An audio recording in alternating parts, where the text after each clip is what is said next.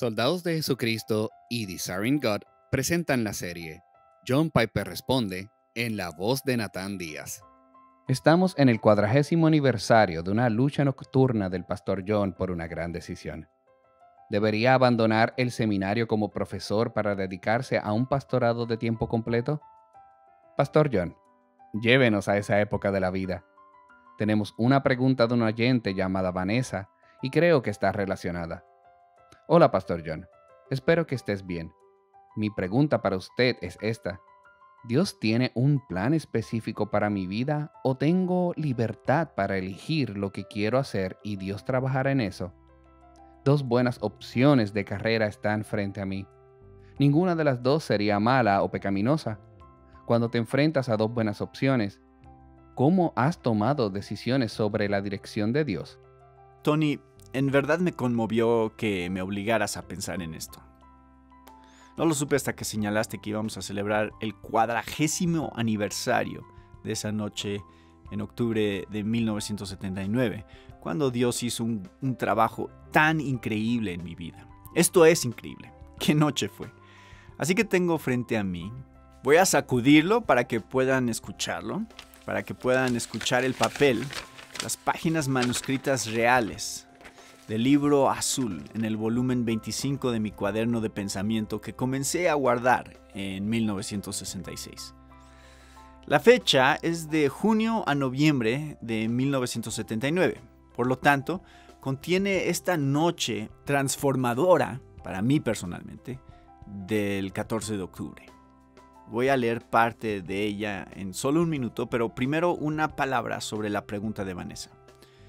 ¿Tiene Dios un plan específico para mi vida? ¿O tengo libertad para elegir lo que quiero hacer y Dios trabajará en eso? Hay dos buenas opciones de carrera frente a mí. Eso es lo que ella dice. La voluntad soberana de Dios para tu vida, Vanessa, va a suceder pase lo que pase. La mente de una mujer planea su camino, pero el Señor dirige sus pasos. Esa es una paráfrasis de Proverbios 16.9 y Proverbios 19.21. Aplícalo a ti misma. Planeas, Él dirige. Es bueno planificar, pero Él es decisivo. Su voluntad revelada, su voluntad de mando, la voluntad que nos revela, es lo que nos dice que hagamos en las escrituras. Siempre debes perseguir eso, siempre. Pero esos mandamientos no especifican explícitamente qué carrera elegir. Entonces, ¿qué hacemos? Hacemos seis cosas. Número uno, nuestro objetivo es ser radicalmente santos en cada parte de nuestras vidas. Número dos, buscamos estar saturados de la Biblia, moldeados de principio a fin por las escrituras. Número tres, buscamos conocernos a nosotros mismos, la forma en que Dios nos ha hecho nuestros dones espirituales. Número 4. Buscamos ser conscientes de las necesidades del mundo que podríamos tocar. Número 5. Empapamos todo esto en oración todos los días por la sabiduría y el liderazgo de Dios. El Salmo 25 es muy valioso para esto. Número 6.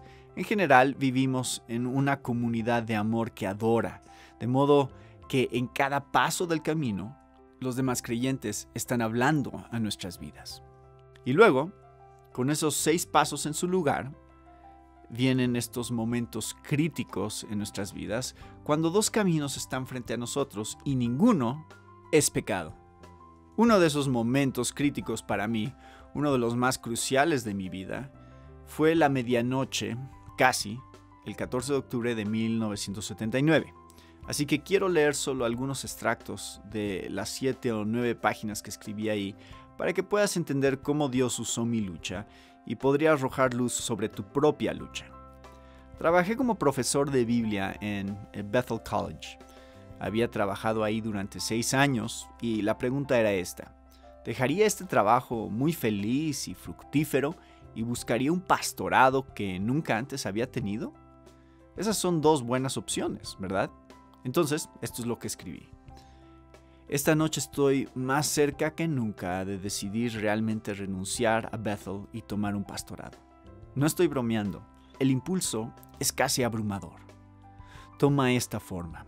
Estoy cautivado por la realidad de Dios y el poder de su palabra para crear personas auténticas Y creo, en realidad creo, que Dios me ha hecho un vaso de su palabra, que cuando se vierte sobre las personas las cambia en esta dirección.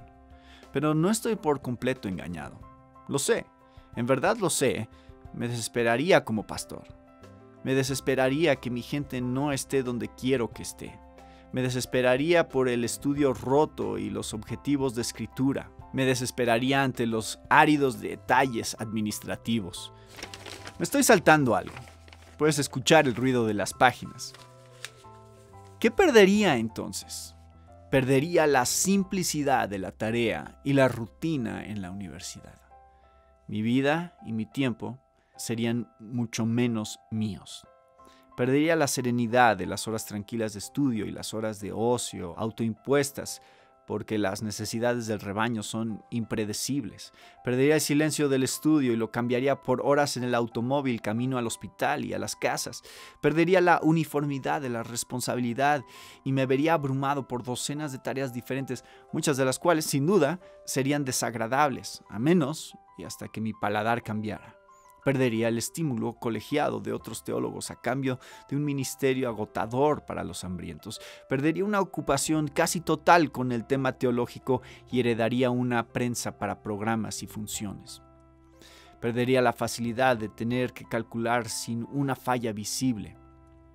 Si fallo con los estudiantes, pasan rápidamente, pero en una iglesia debo considerar la posibilidad de que no pase nada, que la gente se descontente, que no se gane a nadie para Cristo, que las viejas animosidades permanezcan sin sanar.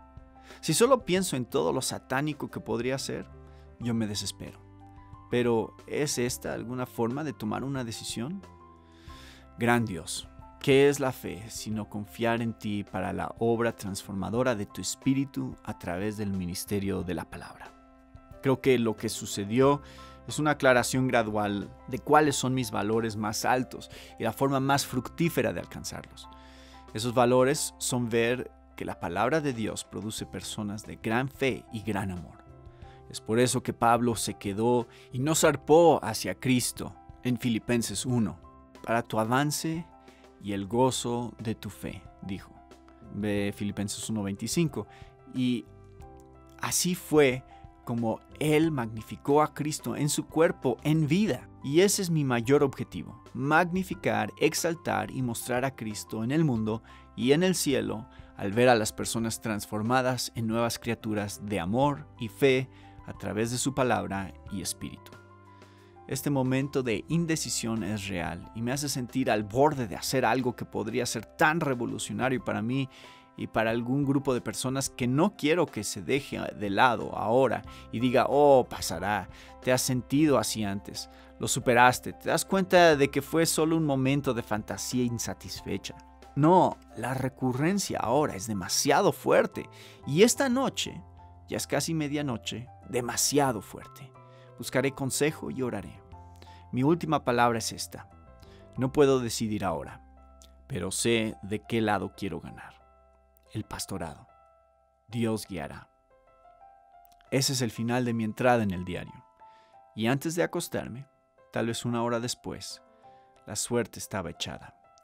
Todo lo que quedaba era ver si mi esposa, Noel, sentía lo mismo por la mañana.